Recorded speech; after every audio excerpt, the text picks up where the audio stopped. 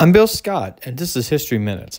Morehouse College is the largest black liberal arts college for men in the U.S. and the only all male HBCU in the United States.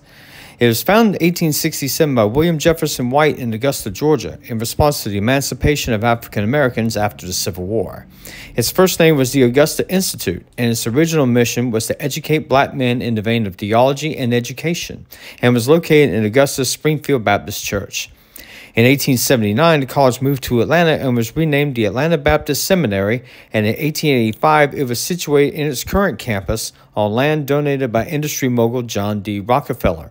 In 1913, the college was renamed again to Morehouse College after Henry L. Morehouse, a white benefactor, and in the 1920s became part of the conglomerate known as the Atlanta University Center, with Spelman and Clark Colleges and Atlanta University. The first black president was John Hope, who served from 1906 until his death in 1933. Hope wanted academically intense education in the vein of W.E.B. Du Bois, as opposed to the vocational skills touted by Booker T. Washington. Civil rights leader Benjamin E. Mays also served as president from 1940 to 1967. He was also a Baptist minister and mentor to Martin Luther King Jr., who himself was a graduate in 1948. Other notable alumni are Samuel L. Jackson, Spike Lee, Atlanta Mayor Maynard Jackson, and U.S. Senator Raphael Warnock. As you can see, Morehouse has a rich and storied history and tradition, and I am proud to be a member of its faculty. This is Bill Scott, and this was History Minute.